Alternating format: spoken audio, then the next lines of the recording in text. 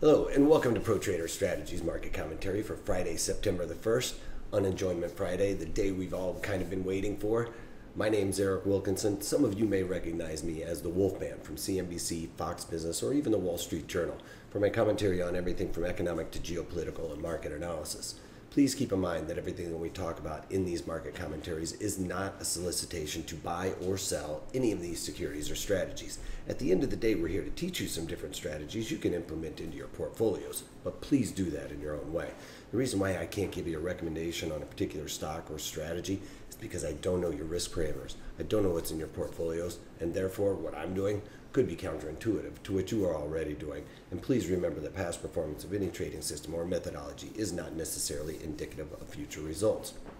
All right, having that all out of the way, this is the day we kind of been waiting for. This is the day of the week that we we're going to be getting all of the data. It seems like. Remember, earlier on in the week we just weren't getting a whole lot of data.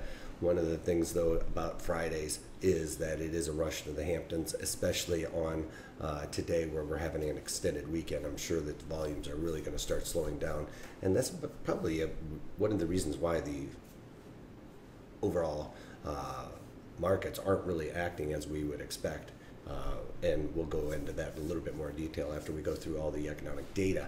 Uh, so across the pond, we've got Spanish manufacturing PMI coming in sl slightly lower than expected at 52.4, expected to be 54.4. Remember, PMI is Purchasing Managers Index. That's for the manufacturing side. That means the the gentlemen or ladies that are uh, in charge of buying the inputs into the manufacturing sector are the ones that are putting this number out. So this is the purchasing managers. So that's really important because it's forward looking. It's kind of like they see what uh, the demand is coming in and they are uh, purchasing different uh, supplies in order to ramp up manufacturing or pull back on manufacturing. And on the Spanish side, seems that they're pulling back a little bit. Then on the Italian aspect, uh, manufacturing PMI came in, coming in at 56.3, uh, one tick higher than expected at 55.3. Uh, French final manufacturing PMI in line with expectations, 55.8. German final manufacturing in line again with expectations at 59.3. And the general overall European region final manufacturing PMI in line with expectations at 57.4. Uh, and then um, Great Britain's manufacturing PMI coming in at 56.9, expected to be 55, so better than expected for Great Britain. Here in the United States, we got our own uh, final manufacturing PMI numbers, and it comes in the form of ISM, which is the Institute for Supply Management. Remember, we talk about theirs as their most important ones are the flash uh, PMIs and we didn't get those flash PMIs in those previous numbers that I talked about. But here in the United States, we talk about the ISM, which is the Institute for Supply Management for the uh, Purchasing Managers Index, coming in at 58.8, expected to be 56.5. So a lot better than expected there. Uh, but on the flip side, we got our unemployment claims, which is the non-farm payroll. This is the big number of the year. It comes out on the first Friday of every month and it is a key indicator as to uh, the robustness of the overall economy. Today, coming in at 156,000 hires, expected to be 180,000 hires, and on top of that, we got a revision down uh, from last month. It, came, it, was supposed to be, uh, or it came in last month at 209,000 hires.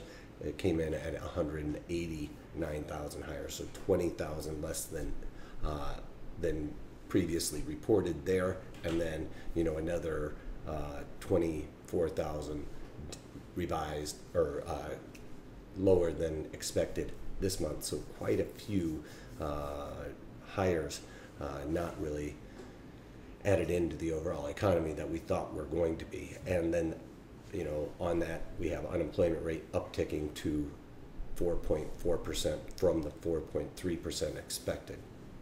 All right, and then uh, finally we got University of Michigan consumer sentiment coming in slightly lower than expected at 96.8, expected to be 97.4. So uh, that a little bit lower there, and then construction spending almost a nine-month low, coming in at a negative 0.6%, was expected to be a positive 0.5%, and then the ISM Institute for Supply Management prices paid coming in right in line with expectations at 62. All right, so now that we got all that out of the way, one last thing is we have vehicle sales throughout the day, and uh, from the first ones that I've seen are not doing so well, but uh, with Hurricane Harvey, it seems like those vehicle sales will probably start to ramp up just because there's so many uh, cars. I think they said a half a million cars that are going to have to be scrapped. So, all right, on to the overall markets. Here we got crude oil uh, slightly in negative territory by about a quarter, and testing that 50 Fibonacci level that we've been talking so much about. Uh, that is going to act as a major resistance as it did yesterday, popped above that, but then uh, settled below. Uh, today we aren't really able to get above that really with any kind of robust or gusto, I guess I should say. And it really looks like this is just downtrending as it's acting as support on this trend line. Uh, it you know will act as resistance once it gets in there it's going to act as support and bounce along that on the way down, uh, and very, very much looking like it is, um, you know, just in a downward spiral. Despite the fact that I think that uh, we should be a little bit more, or the market should be a little bit more bullish on crude oil with everything that's going on. So. Um, not necessarily the case though. Uh, and with gold futures popping higher today by about seven dollars, uh, don't really have a whole lot to say about this other than there's probably a lot of shorts in there that are really kind of struggling to get out. Anytime you get above this value area high, uh, you start seeing those shorts really start to cover, and that's I think what we're really seeing right now uh, with the gold popping into uh, above, I should say the uh, you know above the value area high and well into the 1300s now uh, onto the bonds. Bonds were down over a point today, or just slightly over a point, full point there, and now only down about a half point, being down 16 ticks on the day.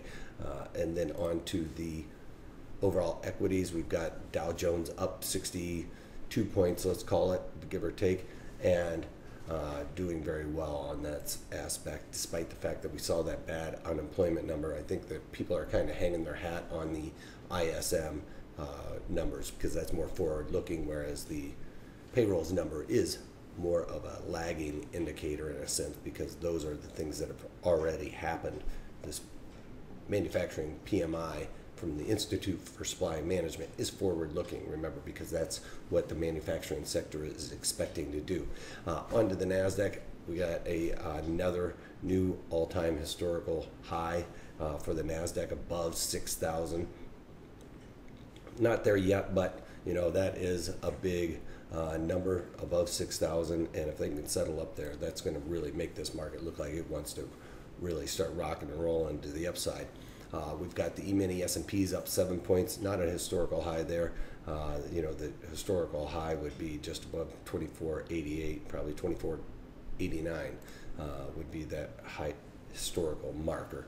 Uh, then we have the daily chart this is looking very bullish as you can see basically all of the value areas hot uh, value areas are above the previous day's value area so those are uh, also points of control that the market is going to want to revisit because we're moving so fast above those and never really testing those the next day so those uh, are going to act as support and resistance or uh, like I call them magnets. I think that the market is going to want to migrate down and retest those areas.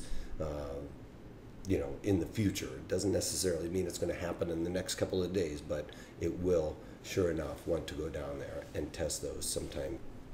All right, and then let's get on to XOP with a couple of things that I've done today. Uh, with XOP, I'm working to try and get out of this trade in my IRA haven't been able to get out of it. Remember, it's a spread, so despite the fact that it's a bullish spread, I've gotten the directional uh, move in there. Not able to get out of that uh, right now because you know when you're doing a spread, those are going to take a little bit longer to decay and come into line than if we have on the naked uh, type of strategy. And with this XOP, I have on the September uh, 29 and a half, 28 and a half put spread in there, and originally sold it for a little bit better than 30 cents. It's pretty close to 50% of my max profit. I'm going to squeeze a couple extra ticks out of that um, and probably wait until Monday as volatility will have a tendency to come in on those Mondays. Uh, but in my IRA, I was able to uh, get out of my XOP trade. And what happened there was um, with the XOP, I have been able to sell my September uh, 28 puts in there. And I originally sold those XOP 28 puts. Let me just double check on this. Uh, I want to make sure I get this right with the XOP.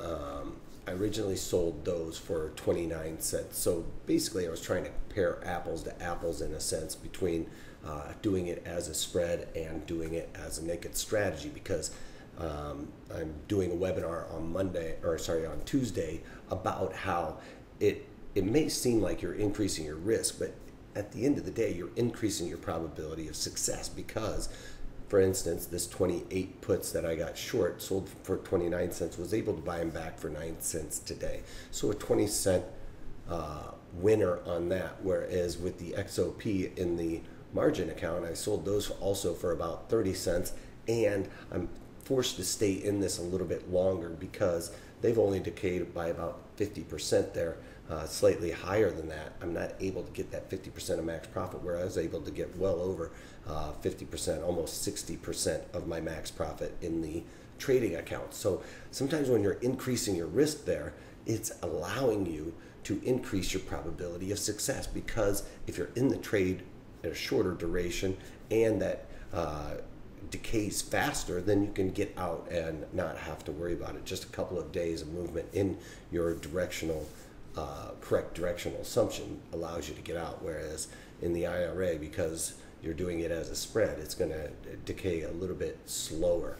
All right. So I'm going to talk about more about that on uh, Tuesday with the Festival of Traders. So check that out. Uh, you can check it out on our website, protraderstrategies.com search for Festival of Traders, and hopefully you can join us. I've also sent out a couple of links to that on Facebook and, or sorry, on Twitter and on LinkedIn. So uh, you can follow me on either one of those.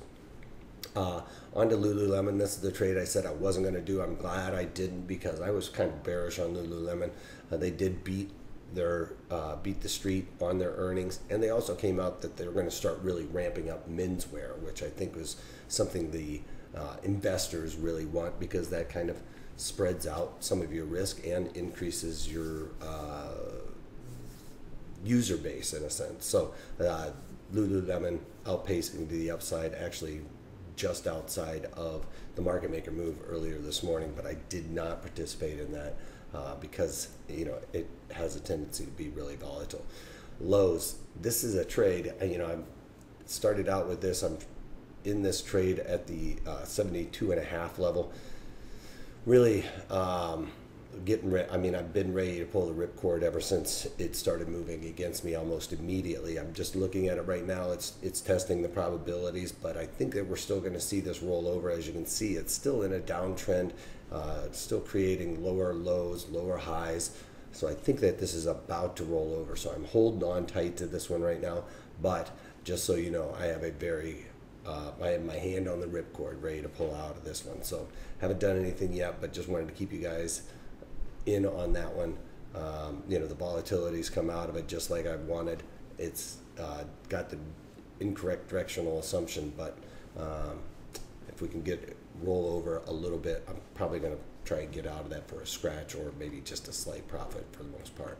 Uh, but looking for it to roll over a little bit for me that's about all I got for you guys today. Today's webinar is going to be on the long straddle, you guys, and it is really important to check this out because anybody can set up a long straddle, but the fact of the matter is there has to be uh, a lot of things going for you in this strategy in order for you to be profitable. And I'm going to help you set this up in the correct environment uh, so that it'll increase your probabilities of success with this one. If you set it up in the wrong type of environment, you're setting yourself up for uh, a disastrous a painful trade. All right, so go to protraderstrategies.com and sign up for that. If you can't take that, take it easy.